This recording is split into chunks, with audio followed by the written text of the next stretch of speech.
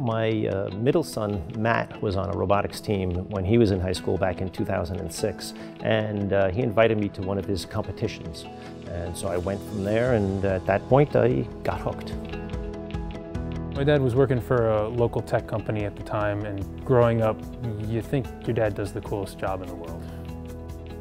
When I first got involved with the team, I didn't really know what I wanted to do or how to do anything robotics related. I ended up following around some of the upperclassmen, seeing what they were doing. I started off with more of the mechanical side of things, and then I started moving more into the system integration aspect of it, eventually working with some of the mentors on, on some of the projects for the robot. I've been involved with FIRST for 14 years now. I didn't realize the energy and the passion that I was going to see walking into what amounted to a screaming stadium of people. It had a very sports-like feel to it. I wasn't really expecting the level of performance or the level of technology that I actually ended up seeing. There were these 130-pound behemoth robots driving around the field at 20 feet per second, smashing into each other.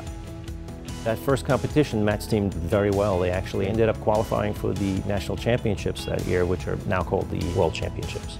But we were unable to attend because we couldn't get the funding together for it. I thought that was really something my school district shouldn't be allowed to have happen to their teams. Each of the teams are set up like small companies. They're also on the edge of what it is they're trying to do. They're constantly pushing the performance of their teams and what it is their teams are capable of doing. Today, we support FIRST in multiple cities with volunteers, cash donations, and even technology. One of the ways we're looking at improving the spectator experience for FIRST is augmentation of the live streams to sort of provide that sports-like experience to these events.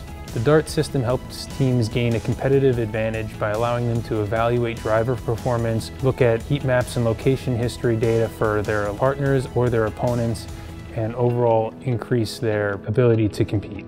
The DART system was a really cool addition that we had at SBPLI Regional, and it allowed us to sit down as a drive team and see what our driver was doing, at what location he was spending the most time. So if we saw that he was spending too much time placing a piece, we knew that that was something that he had to work on. So it was just a really great addition to have, and everybody on the team was really interested by it.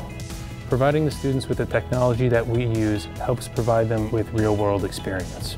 In the end, it's all about allowing these kids to capture their performance edge, whether it's selecting an alliance partner or making a positive contribution in their future. For some, we hope they make that contribution at Zebra, driving innovation for us.